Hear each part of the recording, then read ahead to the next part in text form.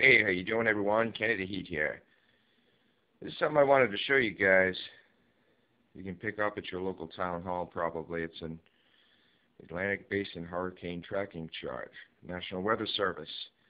And what I had done was is I had taken some of the areas and I had shaded them. You'll see the fluorescent area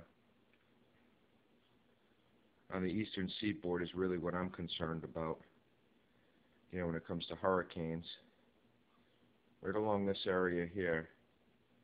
And you'll notice that, you know, in that area, you'll see that, you know, a lot of the storms here, they normally travel around, you know, the Caribbean, all around here. Occasionally they do get stuck up and they they head out across the um, eastern seaboard and then usually lose strength as they go up to uh, Canada. Well, what's happening, especially with uh, Hurricane Sandy or Frankenstorm, the uh, storm had come up, then it had hit right up along nailed New Jersey and then kind of turned inland. And from what I've been told by a lot of different, you know, people or heard, I should say, from a lot of meteorologists, is that's the pattern of the storms now.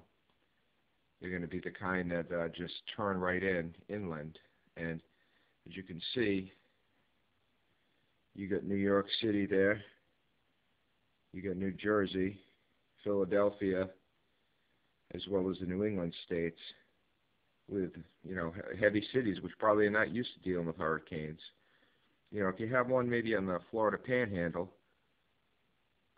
it's a little easier to deal with for them than, say, a larger city as you saw, you know, in New York City how it was. But you know, the, these uh, hurricane tracking charts are kind of kind of neat. You can get them, you know, right from the FEMA website. And FEMA always has good ideas as far as you know planning for such storms. You know, the FEMA guidelines are pretty pretty good, just just for any household to just follow. But you know, I figured I'd make this video up for you just so you could see that. You know, I'm not so concerned about what happens out here I'm really concerned about what happens right over here in the eastern seaboard because obviously that's that's where I live, but also, you know, these areas here, hurricanes seem to hug the coastal areas here and just move straight up. So I mean, you could be affected by something out by Bermuda as well as you know, you know, down by say the coast of Maine or Florida, because these things are hugging the coast and they're ripping right up and you know, in the case of uh, Hurricane Sandy, they came right in and they turned inland.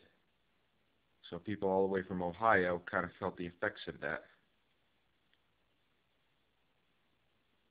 Remember, it's just regular uh, hurricane tracking chart. You can get them right offline or, you know, possibly um, the FEMA website.